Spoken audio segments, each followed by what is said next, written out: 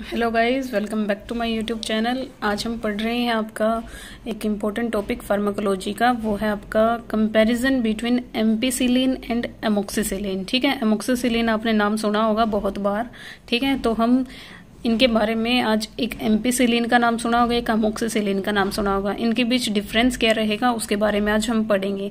ठीक है? तो देखिए, जो एम्पीसिलिन है, उसको रोज सिलिन भी बोला जाता है और जो अमोक्सीसिलिन है, उसको मोक्स बोला जाता है।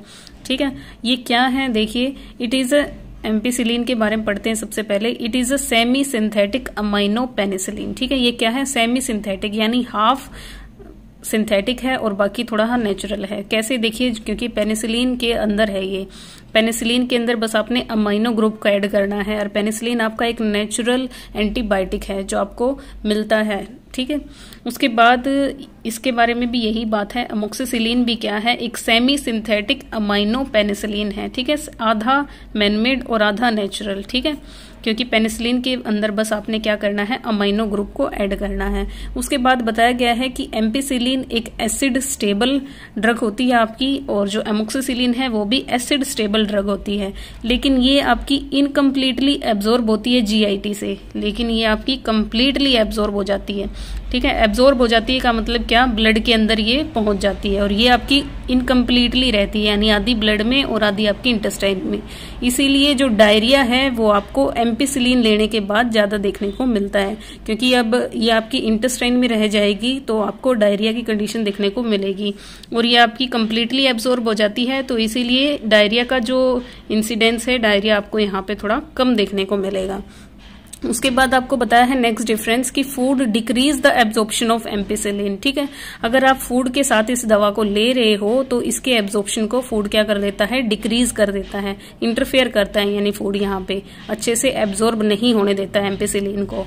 और यहाँ पे फ़ूड बिल्कुल भी एब्जॉर्ब एब्जॉर्प्शन की प्रोसेस के अंदर कोई इंटरफेरेंस नहीं करता है। तो food doesn't decrease the absorption of amoxicillin next हमें बताया गया है कि it reduces the effectiveness of oral contracept contraceptive ये जो दवा है आपकी एम्पिल्स एम्पिसिलिन, अगर इसके साथ साथ पेशेंट ओरल कंट्रासेप्टिव पिल्स भी ले रही है तो क्या हो जाएगा? ओरल कंट्रासेप्टिव पिल्स की जो काम या इफ़ेक्टिव रस रहेगी, वो क्या हो जाएगी? रिड्यूस हो जाएगी।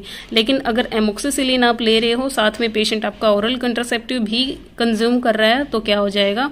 उसकी इफेक्टिवनेस के ऊपर इनका कोई इफ़ेक्ट नहीं पड़ेगा। ये बिल्कुल भी रिड्यूस नहीं करेंगे इफेक्टिवनेस को ओरल कंट्रासेप्टिव की।